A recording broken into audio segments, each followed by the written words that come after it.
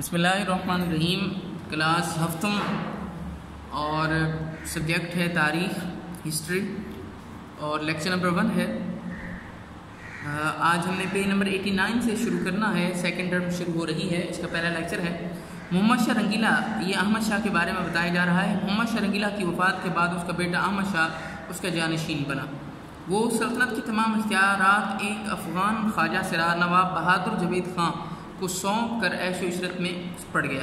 अवाम की हालत ख़राब हो गई। सिखों ने पंजाब में सर उठाना शुरू किया। हुकूमत ने, हुकूमत के दूसरे दुश्मनों के हौसले भी बढ़ गए। चुनाचे अहमद शाह ने निज़ाम मलिक के पोते गाजी, गाजीउद्दीन अमादुलमलिक को वज़ीर बना दिया। गाजीउद्दीन अमादुल मलिक भी कोई बेहतर आदमी साबित न हुआ। उसने अपने मुखालफों को दबाने की पॉलिसी इख्तियार की। वजारत पर कब्ज़ा करने के बाद उसने मरहटों के साथ ताल्लुक बढ़ाना शुरू कर दिए। बिलाखिर बादशाह बनने के शौक़ में उसने अहमद शाह को माजूल करके अंधा कर दिया। सत्रह सौ चौवन में जहांदार शाह के एक बेटे को आलमगीर सानी के लकब से तख्त पर बिठा दिया। आलमगीर सानी। आलमगीर सानी का असल नाम अजीज़ुद्दीन था। वो जहांदार शाह का बेटा था।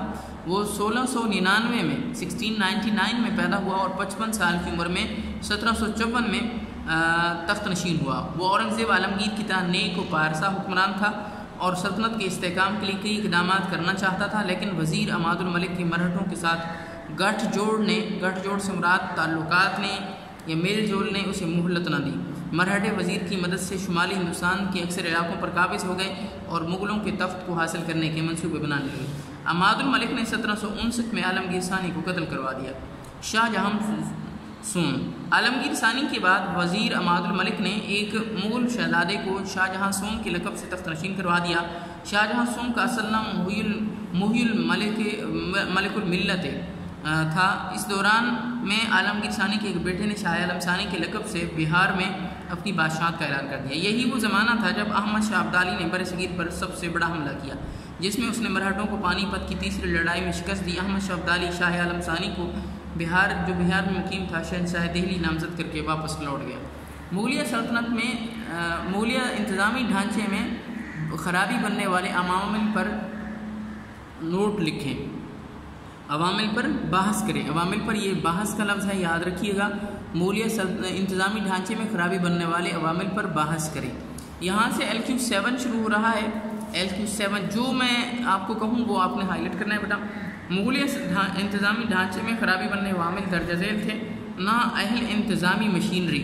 हुकूमती पॉलिसियों की वजह से यहाँ से हाईलाइट करना है आपने। और ये लाइन ऊपर वाली भी हाईलाइट करनी है। हुकूमत की पॉलिसियों की वजह से मुसलमान आबादी में सियासी ज़िम्मेदारी ख़त्म हो गई। बासलाहियत अफराद की बजाय तफीली खुशामदी मसखरे, सियासी नाबालिग और गैर संजीदा लोग बादशाह की मसाहिबीन में शामिल हो गए। मसाहिबीन से मुराद दोस्त दरबारियों में। शामिल हो गए जो मुगल हुकूमत की बका के बारे में कम सोचते थे, अपनी पोजीशन और दौलत के बारे में ज़्यादा सोचते थे। यहाँ तक इसको हाईलाइट करना है आपने। ये एल क्यू सेवन का पार्ट वन है। आगे देखिए, मैं पढ़ रहा हूँ हाईलाइट नहीं करना। ऐसे ही लोग थे जिन्होंने निज़ाम मलिक की असलाह की तमाम कोशिशों को नाकाम बना दिया और उसे मोहम्मद शाह के दरबार से मायूस होकर दक्कन का रुख करना पड़ा। इस नाअहल इंतज़ामी मशीनरी की सल्तनत के साथ सल्तनत को ज़्यादातर देर तक चलाना मुश्किल हो गया था। फ़ौज की नाकस तंजीम ये आपने पूरा का पूरा हाईलाइट करता है। मुग़लों ने इब्तदाई ये एल क्यू सेवन का पार्ट टू है। मुग़लों ने इब्तदाई दौर में मुस्तकिल तनख्वाहदार फ़ौज की तश्कील की थी। इसके लिए मनसबदारी का निज़ाम राज हुआ था, जिसमें तनख्वाह नकद दी जाती थी। अलबत् इनाम के तौर पर बाद लोगों को जगीरें भी मिलती थी। मनसबदार के मरने के बाद उसकी जागीर बादशाह के कब्ज़े में चली जाती थी। रफ्ता रफ्ता रफ्ता रफ्ता से मुराद आहिस्ता आहिस्ता ये सूरत हाल बाकी न रही। जगीर मूर्सी चल होती चलेगी और फौजी थे मुस्तकिल फ़ौज की बजाय जगीरदारों और उमरा को दिए जाने लगे। यहाँ आप डेढ़ लगा दें, ये लेक्चर नंबर वन तारीख का यहाँ ख़त्म हो जाएगा। आपने घर से जो काम लिखना है, ये एल क्यू सेवन का पार्ट वन और पार्ट टू लिख कर व्हाट्सएप ग्रुप में सेंड करना है। असल वरहमल